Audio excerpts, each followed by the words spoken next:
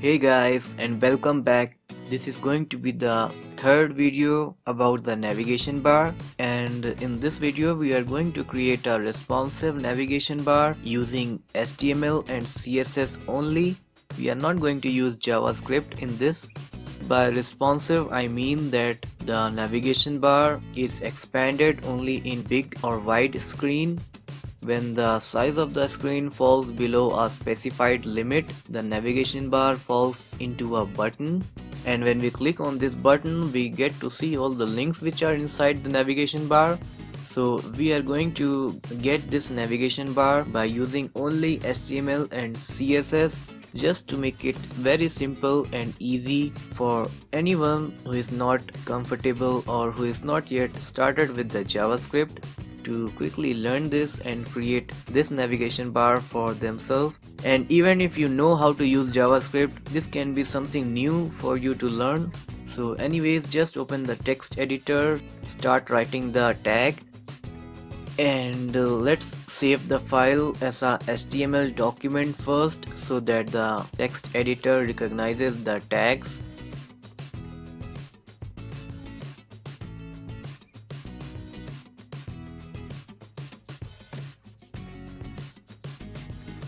Alright then write the HTML tag and hit enter. Then quickly fill in the title. Alright. Then create a link tag so that we can link the external CSS file with this HTML file. There are two ways to style your document. Either you can keep the CSS stylings in this HTML file itself by creating a style tag and then keeping all the CSS stylings within it. Or you can make a new CSS file and then keep all the CSS stylings in that file and then link that file to this HTML file by using this link tag. Then get inside the body tag create a div tag. Let's write the class as top navbar then let's create a input tag and write the type as checkbox.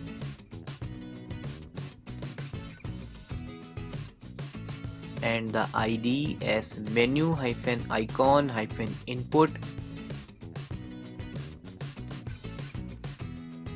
Input tag specifies an input field where the user can enter the data and very often these input elements are used within a form element to declare input controls that allow users to input data and uh, an input field can vary in various different ways depending on the type attribute. And here we have written the type as checkbox. Because of that we will get a checkbox then create a label tag and write the id as menu hyphen icon. Then for attribute menu hyphen icon hyphen input. Make sure that the id of the input tag and the value for the for attribute in the label tag are same and this label tag is used to associate a text label with a form input field or this label tag is used to tell users the value that should be entered in the associated input field. And here we have associated the label tag with the input field containing the id as menu hyphen icon hyphen input.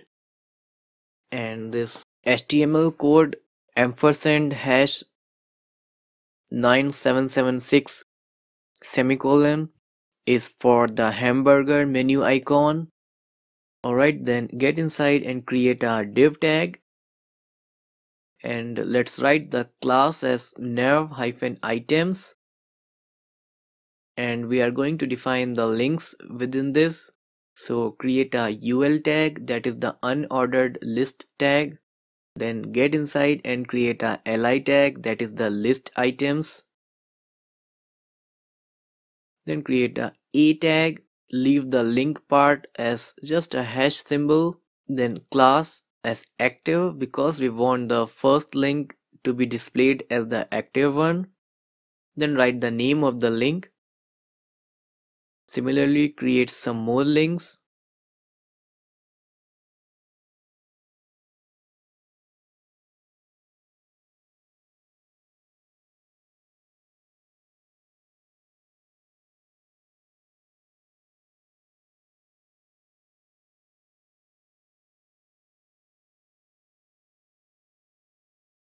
alright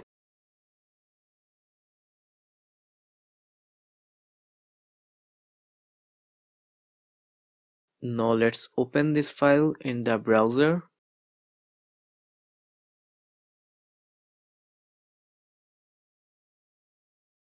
So you can see that we have a small input field which contains a checkbox and then we have a label for that that is the hamburger menu icon and then we have all the links below it.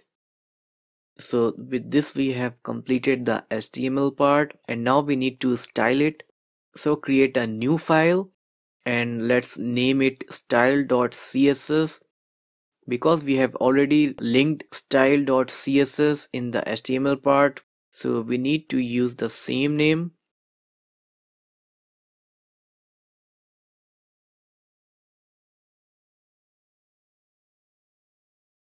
start with the body tag. Let's define the font family.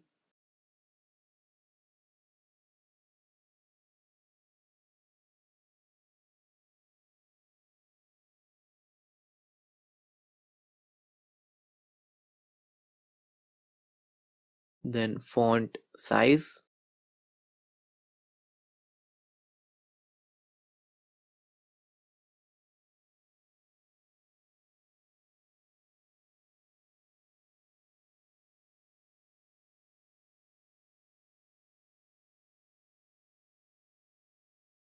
alright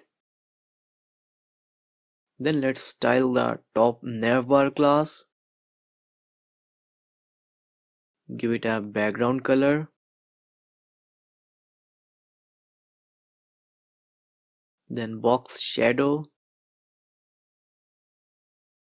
2 pixels. Space 3 pixels. Space 4 pixels.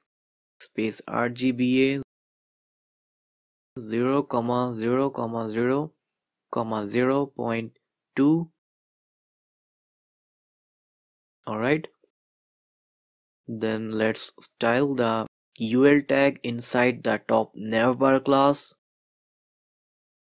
And since ul is a html tag we don't have to write dot or a hash symbol before it. Then padding 0 margin 0 and display as flex. List style type. None. So this will remove the bullet symbol and make the list items stacked in one row.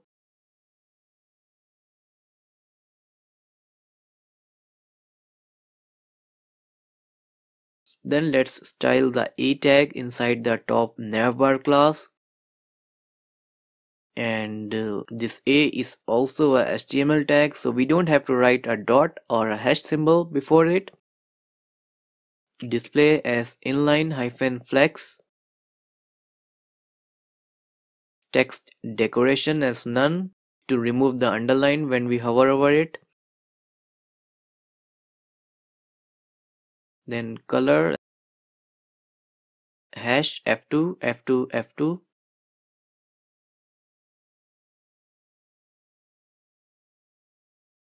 padding.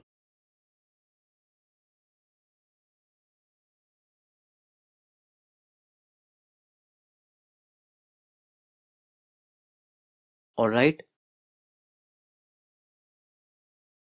then let's style the nav hyphen items class which is like the container for all the links.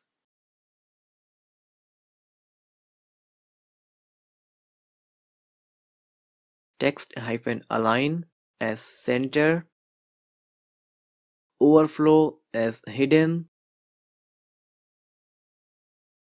clear both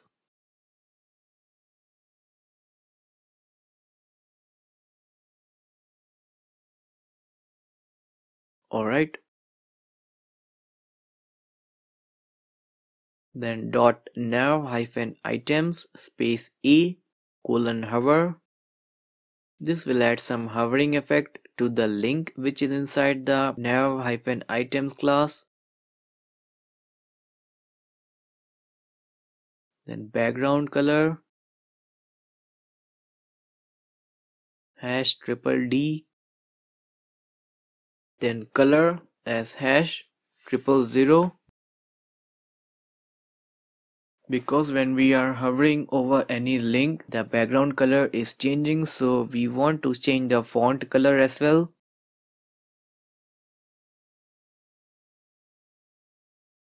Then transition as 0.3 seconds. Ease. Since we are not defining the transition hyphen property part so it will automatically take the default value which is all so this transition will be applied to all and the duration for this transition is 0.3 seconds. So it will take 0.3 seconds to complete and the transition timing function is set to ease. Ease means that the transition effect will have a slow start will then become fast and then will end slowly and even this is the default value. So if you don't write anything it will take ease. Let me add transition here also. Alright now let's hide the checkbox.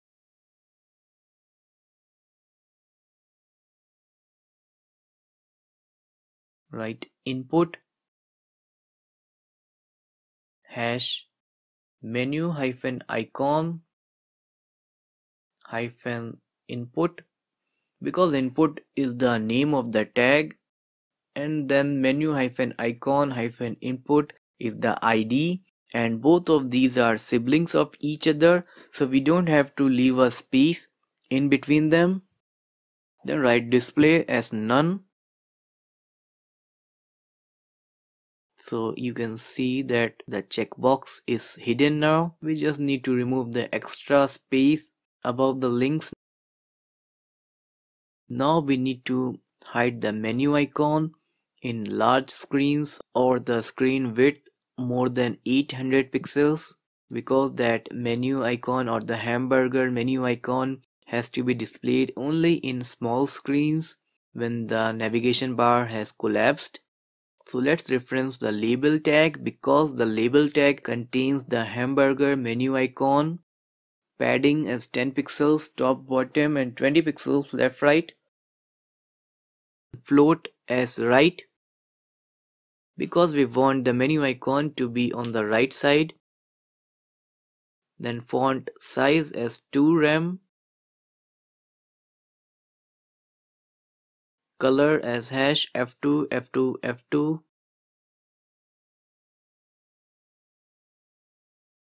display as none. And the cursor as pointer. So because of this display property set to none the hamburger menu icon will be hidden always. And now we need to make the hamburger menu icon visible in small screens using the media query. So far the navigation bar is not collapsing. It is the same irrespective of the size of the screen.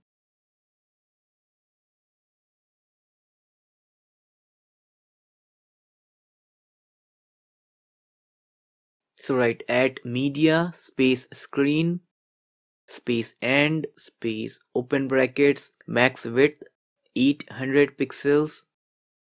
So whatever we are going to define under this will be active when the screen size is less than 800 pixels wide. First of all we want the links to be displayed in different rows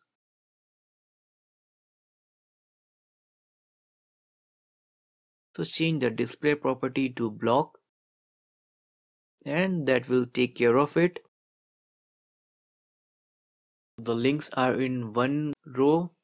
Now let's display the menu icon. Then display the menu icon. That is the hamburger menu icon. And that can be done using the label attribute change the display property to inline flex. Alright but still the links of the navigation bar are not displayed when we click on the menu icon and they are displayed as soon as the navigation bar is collapsed. Let's change the hovering effect a bit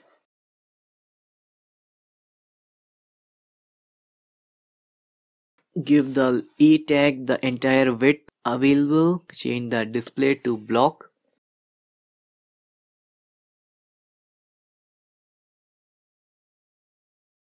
Now let's hide the links until the menu icon is clicked.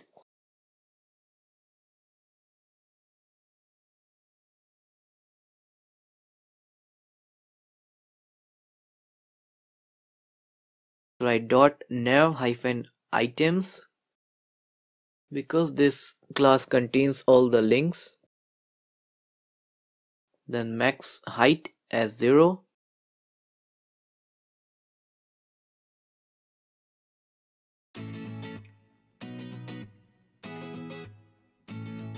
So when we reduce the size of the screen width, the links are not displayed. And now let's display the links when we click on the menu icon. Write input colon checked. Tilde space dot nav hyphen items. Max height as 100% so in short this means that whenever the input checkbox is ticked or checked then we will make the maximum height of the nav-items class to 100% so that all the links are displayed. And you can see that in the browser. Alright. Now if you want you can just add a hovering effect over the hamburger menu icon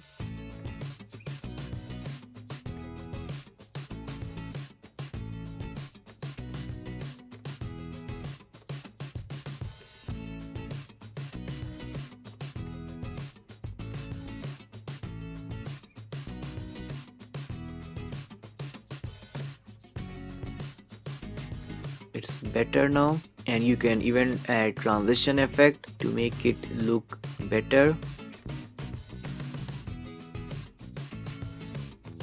And add the same transition effect to here also.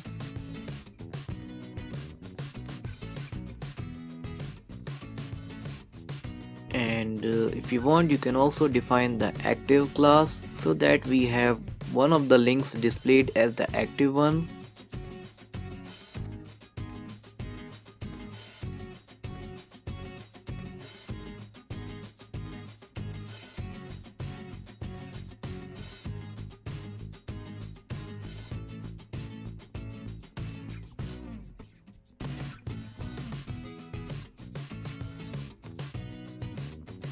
alright. So with this we have completed this video. If you liked the video please hit like button. If you didn't like the video you can let me know in the comment section what you didn't like about the video so that I can improve it in the coming videos.